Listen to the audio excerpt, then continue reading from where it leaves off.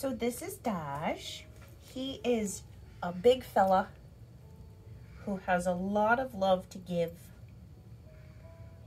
He's nervous here, but he would make a great companion in a home, looking for a lap to settle on.